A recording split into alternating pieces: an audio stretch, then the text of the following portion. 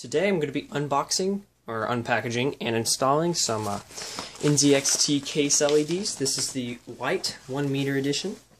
Uh, I got a new case, the Fractal Design Define R5, and I figured I'd go ahead and, you know, you know, it's got a nice window on it, so these LEDs should definitely be uh,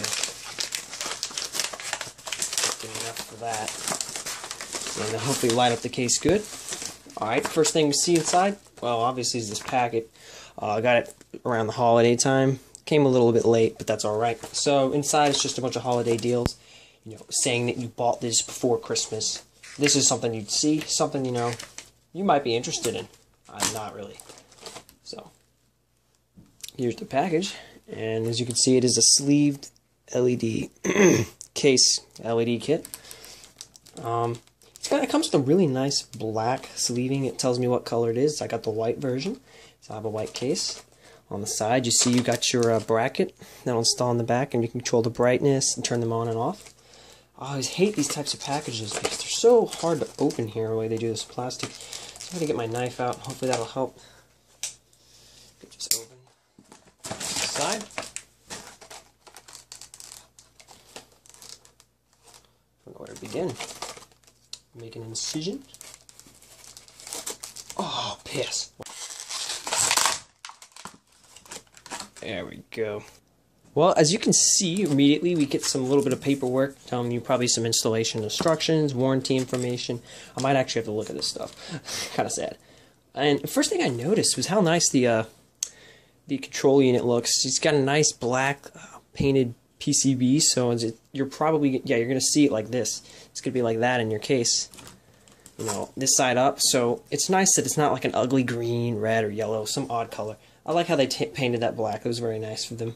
Um, I guess this is a generic sticker. One meter red, white, orange. I, I, I don't know. Uh, button switch right here. Let's see if I can get a close up for you guys. There we go. Ooh. Alright, yeah. It's got a decent click to it, you know. Basic switch. These have been around forever. This is where you're going to connect the LEDs right here, and I guess that's uh, power.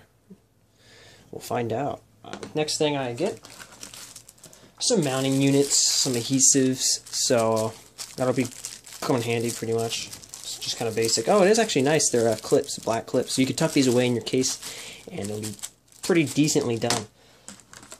Uh, this whole kit, I think the white version was about $12, so it's really not bad. And this is 1 meter LED lights. Get these twist ties off. There's one. And there's two. Alright, so yeah. One meter long. Definitely, you know, out of camera shot, but oh crap, that's my arm. As you can see, the LEDs are just kind of embedded in there. So that's really nice. And if you can do this right, it'll look pretty good. This is the end, I guess. It's just kind of got a rubber thing on it with a twist or a zip tie under there. And this is, yeah, okay, so the two pin is where you plug it in. You'll just take this right here. Boop, plug that in there. And I guess this is power.